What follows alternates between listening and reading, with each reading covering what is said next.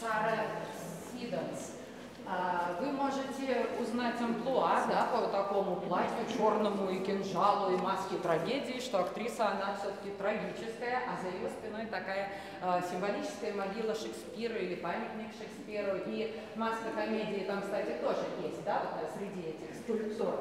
Так вот, Сара Сиденс замечательна тем, что она э, была самой известной шекспировской актрисой. Ее «Леди Макбет» считается непревзойденной до сих пор, и каждая новая э, актриса в этой роли, прежде всего, как она отразится, равняется на ее игру. А в то время она играла так, что дамы в залах кричали, плакали, падали в обморок, что совершенно вообще для британского общества не свойственно, но она вот вызывала такие эмоции. И интересный момент, по законам Великобритании в то время все имущество женщины принадлежало ее мужу. Муж ее был захудалый актеришка, неуспешный, но транжира и растратчик. И вот, э, да, все ее гонорары все равно доставались ему. Она очень подняла престиж актерской профессии в Великобритании, э, потому что она была жена и мать, а до этого считалось, что, в общем, это э, профессия такая вот не женская, да, что не, не каждый пойдет в эту профессию. А вот еще одна актриса,